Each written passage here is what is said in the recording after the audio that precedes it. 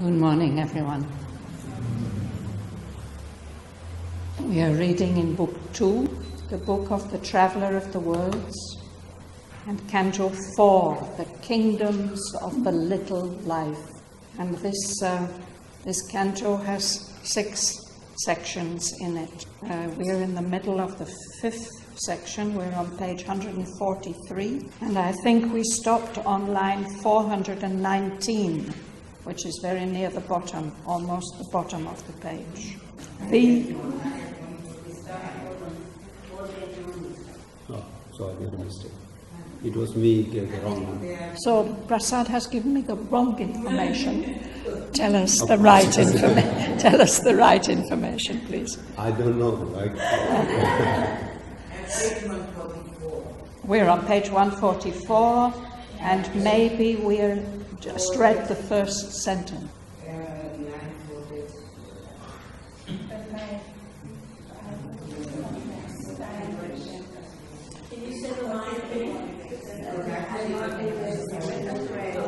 So let us go back to the bottom of page 143, where it says, line 420, these felt life's quiver in the outward touch. These are beings who wear a human form, but who are not fully human. That's uh, what Sri Aurobindo is telling us about now. So, um, Franz, will you start, please? These felt life's quiver in the outward touch. They could not feel behind the touch the soul.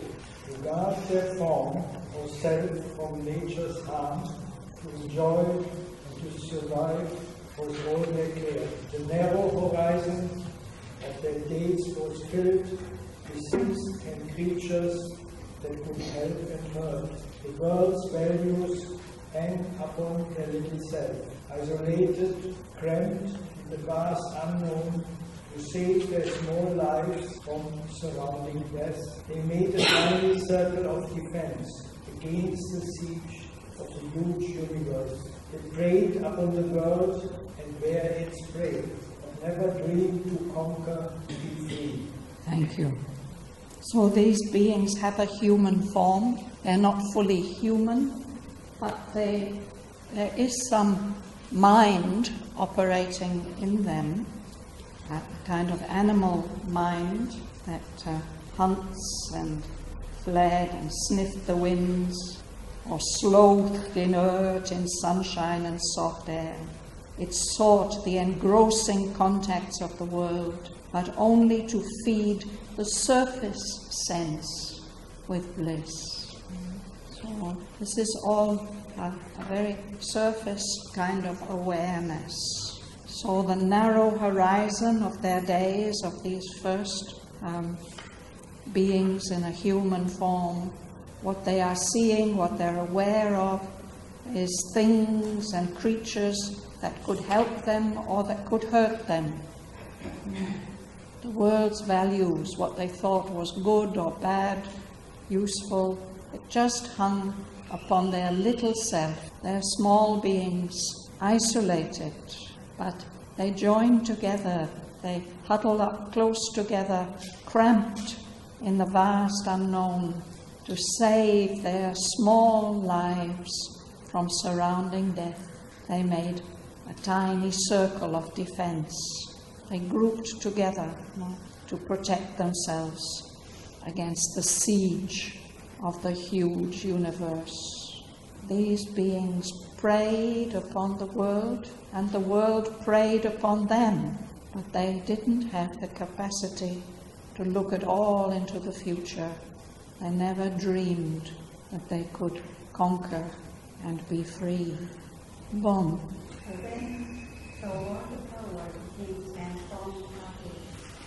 Our no of and no. The patterns of thinking of a little group. Fixed of traditional behavior, the soul said as work within, tied to a mechanism of unchanging life and to a birth usual sense and feeling the peace. They found in books Thank you. Anybody would like to ask anything about these lines? Oh, I'm sorry, it sounds like the chimpanzees that we have today in the uh, African jungle. But he says they have a human form. So these are the first human groupings. No? The world powers? Yes, the world power. I think this is nature, no? Mother Nature. They have to uh, follow the hints that she gives them. And if they find, they notice that there's something that nature uh, punishes or says no to, they have to obey that, those taboos, no? And they're only able to draw a very small uh, benefit, a little bit, from all the rich store of nature. The the society, their, group, not the nature. I beg your pardon? The darkness, of course, the, uh, world powers That what they, what, what they turn into taboos depend on their perception of nature. It's not coming from within. Uh, That's what Sri Aurobindo was saying. They're just living on the surface. They're reacting to nature. There's no conscious code. It's not that they, this is a society where uh, certain um, ideals have been established. You do this and you don't do that. There's no conscious code, no life plan, but it's just the patterns of thinking of a little group fixed, a traditional behaviors, law, customs, and it's probably different from group to group. mm, In small groups, each of them they have their uh, their traditional ways of doing things. uh. Yes. Um, this is not necessarily a, a description of evolution. Is it? It's more like a, a description of a, a level of consciousness that. Well, this level of consciousness certainly exists, but there was a time when it was uh, the dominant level of consciousness. So we are talking parallels. Yes, these kingdoms, little life that he's describing, they are steps in the development of our life. So this, uh, they, they are ignorant of soul. They may have some kind of feeling that there's some kind of ghost or something within, but they, they are not really aware of the soul. And their life is very habitual, tied to a mechanism of unchanging lives and to a dull, usual sense and feelings beat. They turned in grooves of animal desire. These beings have a, um, a human form, but it's basically still an animal consciousness.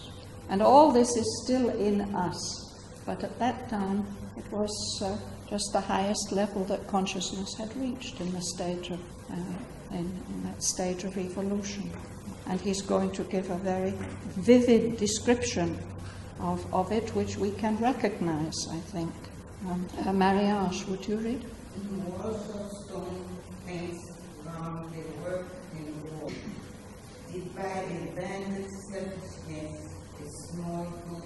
Good or work a dreadful one and full pain in sentient eyes and did not they did not. Ardent from the start of happy peaceful homes and gorgeous slaughter, hunger, rape, and fire, the need of human selves in the helpless the grove of captives led to fa- lifelong war or torture, a spectacle, lame and holiday, mocking or thrilled by their torn victims' crimes, admiring themselves as titans and as gods, proudly in the sun their high and glorious deeds, and praise their victory and their splendid force. Thank you. So this is quite a familiar picture, no? Where they have their, their walled villages where they work and they, they make war with the next door village uh, with their banded selfishness, joining together out of self interest. They may sometimes uh, do something good, they may decide to um, plant some fields and work on them together. Or also out of that banded selfishness, they, um, they would war with the next village and uh, they wrought a dreadful wrong and cruel pain on sentient lives, lives that are like their own. And they don't think that they're doing anything wrong. It's just natural to them. you know. They conceive of wrong. Maybe, well, anything they do is right. No? Isn't wrong? no, they have a conception of wrong because they have these taboos. But um, what they do is, is right. Mm. So then there's this very vivid picture which we, we can recognize, no? Ardent, they're just burning with uh, enthusiasm after sacking, destroying happy, peaceful homes. And they're gorged, they're just full up with their enjoyment of slaughter, plunder, rape, and fire. They made of human selves their helpless prey. They're just like predators in their, um, they're powerful in their group, and they're just uh, preying on their neighbors. They would capture um, other human beings, take them as slaves, a life of lifelong woe, or they, they catch some hapless people and torture them just for fun, made it a spectacle and holiday, mocking or thrilled by their torn victims' pangs. And then they think they're just wonderful, they are so powerful, like titans and gods. Yes, these things are still going on, yes. now, the little man, the man of today is still So proudly they sang their high and glorious deeds, how great we are now, and praised their victory and their splendid force. They're very uh, pleased with how powerful they are.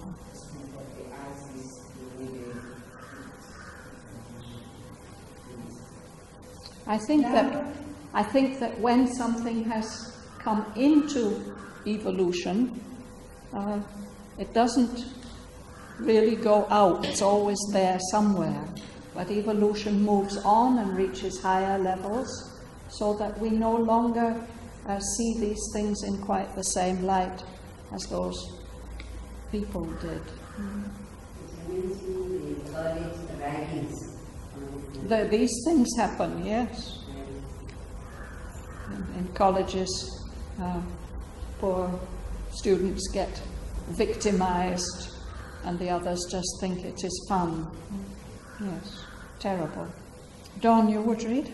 An animal in the instinctive herd, pushed by life impulses, forced by common means, each in his own kind, saw his ego's glass. All served to the aim and action of the pack. Those, like himself, by blood or custom kin.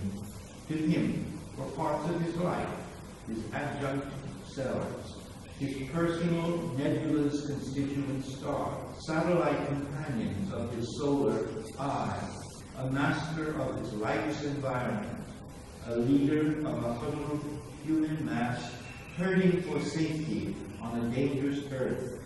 He gathered them around him as if minor powers to make a common front against the world, or weak and soul on an indifferent earth as a fortress for his undefended heart, or else to heal his body's loneliness.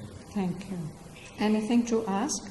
Especially the last part, when he was weak, last two lines, or weak and soul are in different colors.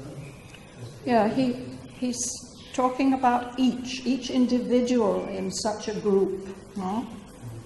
Each of them sees himself reflected in the others, no? and they're all uh, somehow working together like a pack of animals. So there are those who are like him, either because they are uh, blood relatives or because they belong to the same village. There's custom, the is us. No? Uh, so he just takes them as part of his own life. So whatever he wants for himself, he wants for them. No? They're his adjunct selves. They're part of himself. Uh, he, he's like a, a star, and they are like the stars around him. no? So he may take a leading role. He may be a master in such a, a life environment. No?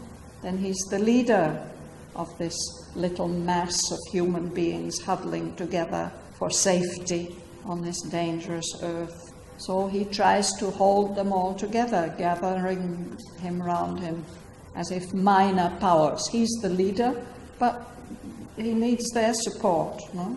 But some were not like that. They experienced life differently. They um, felt very weak and alone on an earth that doesn't care about them.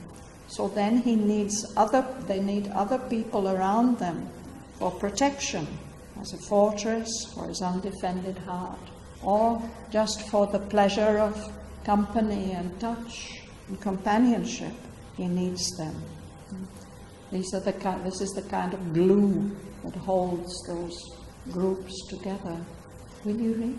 In others than his kind he sends to foe, as alien, unlike force to shun and fear, a stranger and adversary to hate and slay, or he lived as lives the solitary brute, at war with all he bore his single fate. Absorbed in the present act, the fleeting days, none thought to look beyond the hour's gaze, or dreamed to make this earth a fairer world, or felt some touch divine surprise his heart. Thank you. The gladness that the fugitive moment gave, the desire grasped, the bliss the experience won. Movement and speed and strength with joy enough, and boldly Bodily. Bodily. bodily longing shared and quarrel and play, and tears and laughter and the need called love. Yes. You. So there's those who are like him, but there are also others than his kind. And then he feels that something alien and threatening, a foe, an enemy, an alien, unlike force to shun and fear, a stranger and adversary to hate and slay. So those are the people who are living in groups. Hmm? They're masters or weak. They have these different attitudes. But there are a few people who lived alone, like solitary animals, at war with the whole universe, at war with all. Such a, an individual has to bear his single fate, all alone. That also happened. This burning for safety or a dangerous earth, is it like that to avoid the challenge that people are gathering in to avoid the danger and the challenges of everyday life of the society? Can you take it into that way or? Well, nowadays things are a bit different. People, people don't often have to live alone, and if they do, it's for choice, by choice, not deliberately separate themselves. But if we imagine these primitive people, the earth was almost empty. And it was full of dangers, all kinds of dangers, wild animals, uh, weather, all kinds of unpredictable circumstances, and of course the tribe from the next valley who might come and want to carry you off as a slave. So, for all these reasons, um, it's probably at this period that human beings became social animals, as we still are today. Uh, Exceptionally, there are few people who uh, don't want to belong to the pack. But human beings on the whole, on the whole, are gregarious. They, they enjoy the company of other human beings, something that they feel is necessary in one way or another. So probably all that has its roots back in this time of the early animal man. But even today, we have the word hermit. Yes, of course, there are those who, for, for various reasons, want to be alone. Yes. Lone wolves. In German, there's a wonderful song by Schubert called Einsame. Those of you who know German will know what he means in there. And he's just delighted to have to To be lonely. be lonely. Is this need called love? Why is Oh, well, what is love? What is, what, what is that thing we call love? It's the need for companionship and uh, a partner. Mm. So there's, there's, a, there's a level of our being where it's not more than that. It's not the true um, soul love, the divine love. But Shraddhavan, when you born, you are alone, and when you die, you are alone. Well, when you're born, normally you're with your parents Yeah. and you're with your family and you're. But you, when you born, You're talking about the true individuality which is within. hmm? So that is, the, that is something that at this level the evolving beings were not conscious of, of that true self within. They were, that's, he, he says they were not aware of it.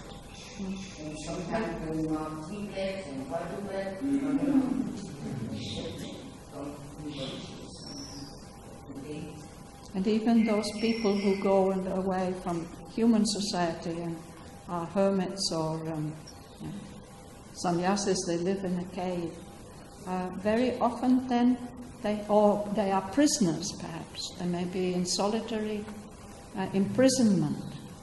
Then they, they make friends even with spiders or mice, you know. There, there's something in us which needs uh, companionship. uh, line uh, 452, he says admiring themselves as titans and as gods. Mm, as powerful beings. But um, so at this stage they had gods. They had gods. They had a notion of God. Obviously, they had some kind of notion of superior beings. mm. And when they were powerful, then they thought, yes, we are, we are those superior beings. Or at least we're like them. Mm. Probably this idea of uh, higher powers must have developed very early on. I think Mother says even animals, uh, they think of us as kind of gods. We, we are powerful and unpredictable and they depend on us in some way. I mean, she, I think she's speaking of animals that are in contact with human beings. We do unpredictable things.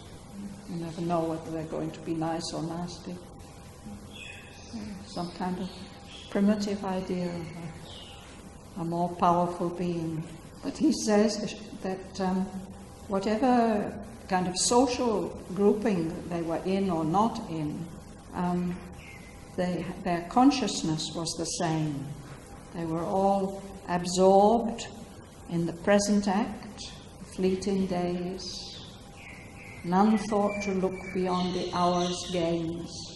This is very much the animal consciousness. None of them are dreaming to make this earth a, a more beautiful and fairer world. And none of them feel any divine touch surprising them.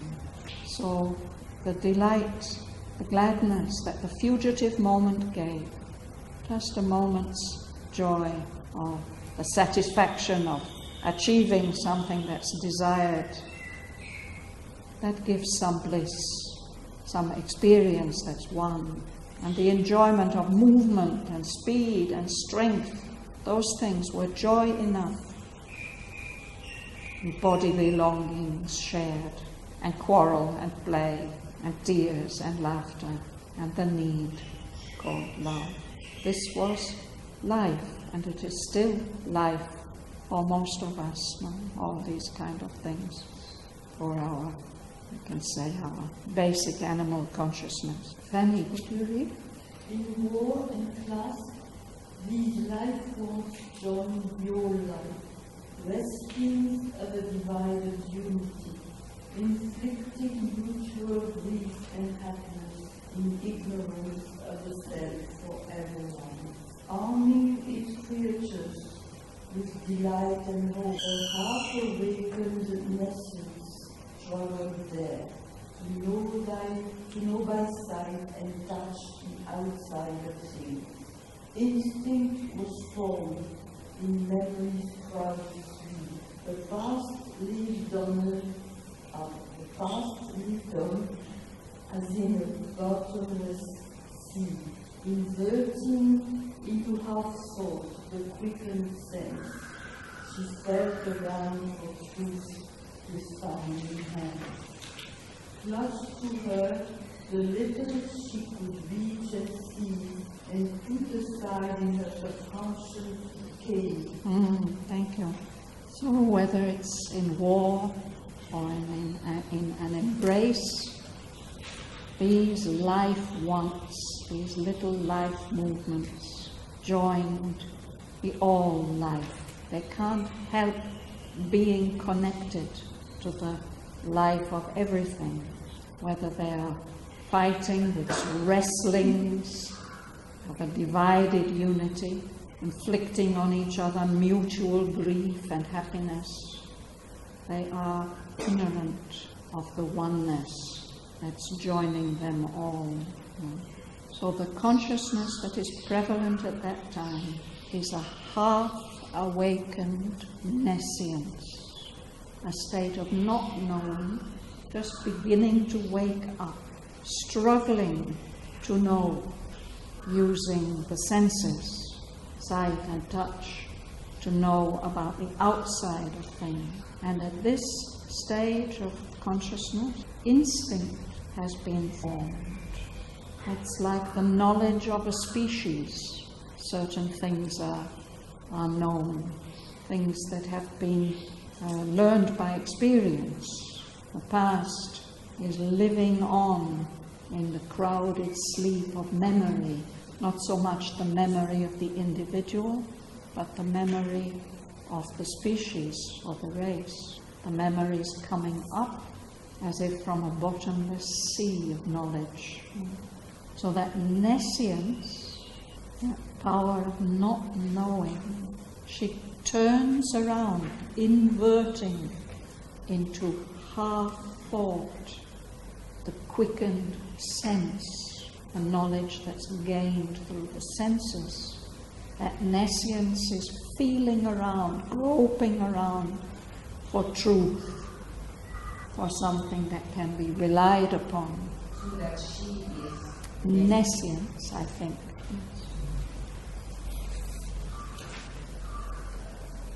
So she's clutching to her the little she could reach and seize, and she keeps it safe in the subconscious, in the subconscious cave. Francis, you ready? So much being rolling back and forth, and right to the thing at us. Root but the broad and run to the universe. To learn by feather and progress by fall. And battle enduring and move, but suffering called is deep soul. And by possession grow with own life. Halfway, she, she stopped and found a pathway. Then nothing was achieved but to do, to be. They finished seeing the cycle. Thank you. So this is the way that the dim being grow in light, in consciousness, and in force, and power. This is the way that it has to rise to one day reach its higher destiny. And through these gropings, it will learn to look up to God and round at the universe. It has to learn by failure and progress, by fall, falling again and again, and learning as we rise up, and battle with this difficult environment and all the disasters that can spring on us. And then being will discover his deep soul by passing through suffering and by possessing, he will grow into his own vast being, greater being. Turiya. But He, he said it stopped at the evolution level. Yeah, Line stopped. Turiya's just going to read that. Halfway she stopped and found her path no more. Still nothing was achieved but to begin. Yet finish seemed to suffer her force. Only she had beaten out sparks of ignorance. Only the life think and not the mind. Only the sense could feel and not the soul. Only was there some heat of the flame of life, some joy to be, some rapturous leaps of sense. All was an impetus of half-conscious force. Her spirit, calling, drowned in dense life form, the vague self-grasping like a sheet of. Thank you. So this she, of course it is the nescience, but it's the half awakened nescience of the life consciousness at that time, at that stage of development. So Sri Aurobindo gives us a hint of what has to be achieved still. But this force is not able to achieve it. Hmm? The circle of her force seems to be finished. So then he enumerates her achievements. She has beaten out of inert, unconscious matter some sparks of ignorance. The mind hasn't learned to think yet. Only the life could think, the life man. And only the senses, physical senses, could feel. The soul hasn't yet woken up. Some heat of the flame of life, of the life energy, has been lit. That does give some joy, some rapturous leaps of sense experiences. So, what is dominant at that stage is this impetus of half conscious thought, a spirit sprawling, drowned in dense life forms. It hasn't really got much control, no, there's so much sense experience. But that spirit is a vague self, some vague individuality, grasping, trying to work out the shape of things. That's the achievement of this stage of the animal creation. And what is behind it all? Tuan, would you read the next sentence? Behind all moved, seeking for vessels to hold the first raw vintage of the grapes of God. On earth's mud, the spilth of the supernal, supernal bliss, intoxicating the stupefied soul and mind, and heavy wine of the rapture, dark and crude, dim, uncast yet into spiritual form obscure inhabitant of the world's blind core, an unborn Godhead's will and new desire. Mm, just kind of summing all this up. Behind all this is moving an unborn Godhead's will. There's a divine will of something which is yet to be born. A silent desire is impelling all this. It is seeking for vessels, for forms to hold a first raw vintage of the grapes of God. The grapes are, of course, always the symbol of the uh, Ananda.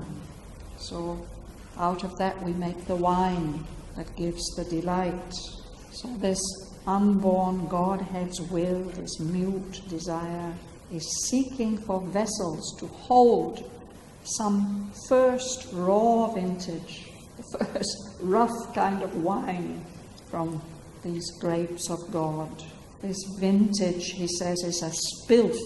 It's been um, poured out or spilled or overflowed onto earth's mud, but it has come from the supernal bliss. That first raw vintage is intoxicating. It must be bitter too. Sorry? It must be bitter too.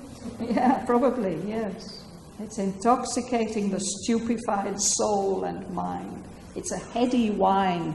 It uh, turns your head. It's dark and crude. The rapture that it gives is dark and crude. It's dim, uncast yet into spiritual form. But it is that bliss, that um, spilth of the supernal bliss, is the obscure inhabitant at the very core of the world. Aswapati can see this because he can see into the heart of things. So we've seen in this canto um, two levels of life. The life that is just emerging from matter, and then the life that is more dynamic, more full of energy, the life, the animal life, the animal creation, and in the final uh, section, a third creation reveals its face. It's the beginning of body's early mind, the way that these three powers, matter, life, and mind, we've read in the Life Divine that at every level of consciousness they are present and they affect each other. So here, where it's the life that he's talking about, the little life, there's a first level that is dominated by matter, by the physical, struggling to emerge. But then we see something that's really an expression of life, what we identify with life, the animal world, you know, the Rajasic life level. And now he'll reveal to us a level which is still the little life, but it's one in which mind begins to have more role to play, more influence. You like to read? I would be delighted. Yeah. At the break. A third creation now revealed his face. Mold of bodies early mind was made. A glint of light kindled the obscure world's force. It darkened a driven world with a seeing idea, and armed the eye with thought's dynamic point. A small thinking being watched the works of time. A difficult evolution from below. Call it a masked intervention from above, else this great mind and inconscient universe could never have disclosed its hidden mind or even its blinker, blinkers were in beast and man, the intelligence that devised the cosmic scheme. Thank you. Dowered a driven world, endowed, you know, gave to this world which is driven by impulse. It gives it the power of seeing idea and armed the act. Otherwise, all consciousness was expressed with through action. you know. But now there is some kind of dynamic point of thought. A small thinking being watched the works of time. And this has come again with the same process. as this difficult evolution from below, preparing, aspiring, calling for something higher, and that calls down a masked intervention from above. That intervention is not clearly seen, but still it intervenes. And if there hadn't been this interaction, this great, blind, inconscient material universe could never have disclosed, revealed the mind that was hidden within it. There hadn't been this development, the intelligence that has devised the whole scheme of the universe could never have um, worked in animals and men, even in blinkers. Um, blinkers in the days when we had working horses in our cities, uh, they used to put blinkers on them so that they could uh, they would only see what was in front of them and not be startled or distracted by what was on either side. So if somebody's working in blinkers, they've got tunnel vision. No? They are not seeing the whole picture. They're um, restricted in their vision. Yes, Don. Oh, you've got your hand up. Is dowry,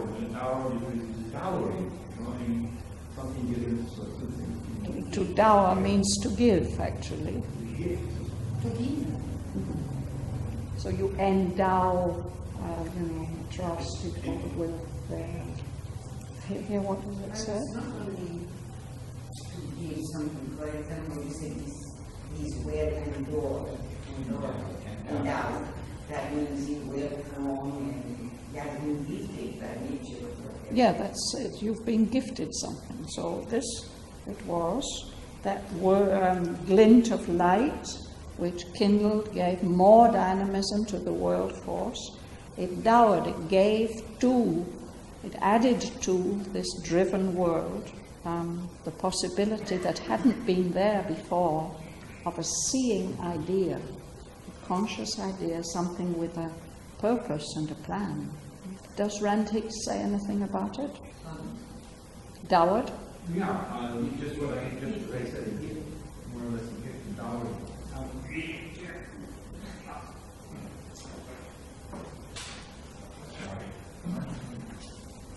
To endow, Hmm. either with a dowry, or with a gift, Hmm. or power, of body or mind. Yeah, you can give a power, you can give a capacity.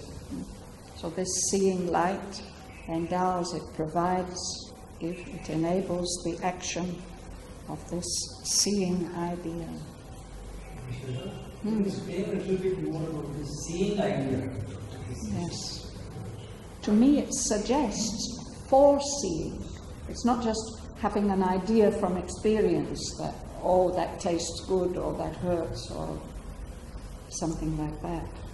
But it's something that looks forward to another possibility.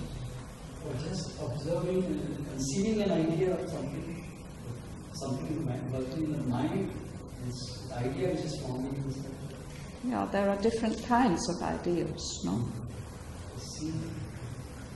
So it's, it's, it's endowed with vision. There's the possibility of looking forward. Is it intuition? Well, intuition is, of course, behind all this, but I don't think it's intuition is the power that he's talking about here. No. It's just this. You think of the animal mind, no? Uh, if you live with animals, you know that they have their little ideas and their wishes and their wills and their ways that they think things should happen. Hmm? Yeah? But they don't plan. They see something happen and then they think, oh, I know what will come next. No. But you can't call it a seeing idea, I don't think. Hmm.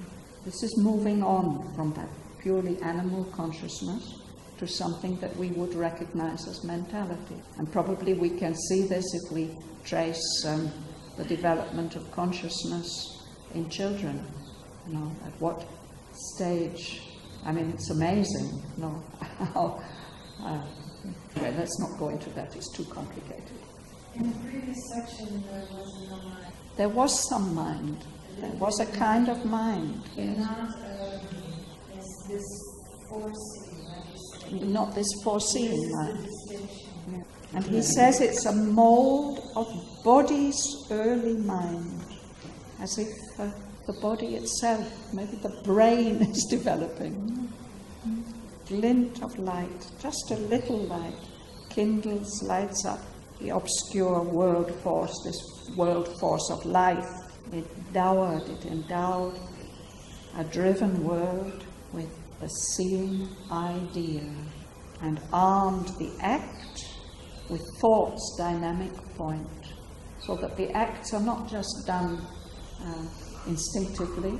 Instinct was already formed, but with intention, with purpose, I think, and observation. A small thinking being watched the works of time, can um, observe and draw conclusions. He will tell us more about it, but first he told us now how important this was, this development. It's happened through this difficult evolution in life from below, from the subconscious, but that has called in the intervention from above, a new power.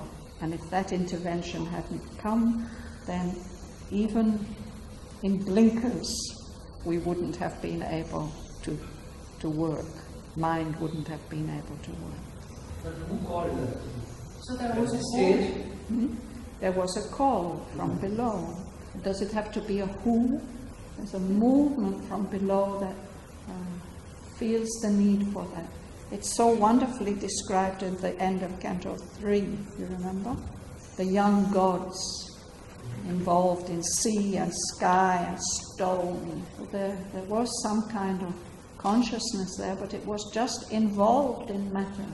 Couldn't express itself in any way, but there's this longing that, oh, there could be the possibility of expression. And it's that longing, that aspiration, difficult evolution from below that enables intervention to come. And the life goddess pours down all her, her beauty and her bliss. And that then, this is the way it happens. This is what's indicated in Sri Aurobindo's symbol. The higher power comes down, but it gets swallowed up in the lower power. Mother has described it to Huta, you know, on 29th of February 1956. She, she knew she'd opened the door and the supramental had come pouring down, but she said, I saw it being swallowed up by huge dark blue waves of unconsciousness. But now it's there, so it will emerge. So that process is happening, has happened at every single level of evolution. That's what's being described here. And now this, uh, this new power has come, and we are hardly aware of it, and we can hardly believe in it. But Mother was very sure. She said it's working, and that world, that new world is born, and it will grow. We can grow with it.